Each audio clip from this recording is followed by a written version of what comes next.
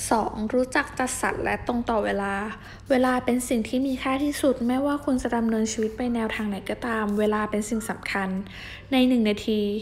ในหนึ่งวัน คุณสามารถสร้างสรรค์ผลงานออกมาได้มากมาย เพียงแค่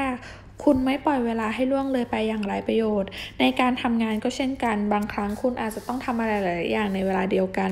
คนทำงานหลายคนอาจจะคิดว่างานเยอะเกินกว่าที่จะทำสำเร็จได้ภายในวันเดียว หรือโครงการที่ทำอยู่นั้นอาจจะต้องยืดเวลาออกไปอีก เพราะยังไม่มีกำหนดที่จะเสร็จสักที ถึงอย่างไรก็ตาม เราเชื่อว่าถ้าคุณรู้จักวางแผนและมีการจัดสรรเวลาอย่างเหมาะสมอย่างถูกระบบระเบียบ คุณก็จะสามารถจัดการการงานทุกอย่างได้เสร็จตรงตามเวลาที่กำหนด หากงานที่คุณได้รับมอบหมายมานั้น มีแนวโน้มที่จะใช้ระยะเวลานานในการทำคุณก็ควรลงมือทำตั้งแต่เนิ่นๆ ถ้างานนั้น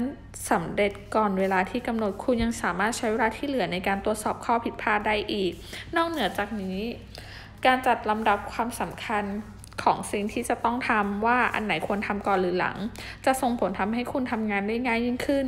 คุณสามารถทำงานได้ตามกระบวนการขั้นตอนที่คุณวางแผนไว้ อีกทั้งยังช่วยลดความสับสนและไม่เป็นระเบียบที่จะเกิดขึ้นระหว่างทางการทำงานอีกด้วย สิ่งสิ่งสำคัญนอกเหนือจากการจัดสรรนั่นก็คือการตรงต่อเวลา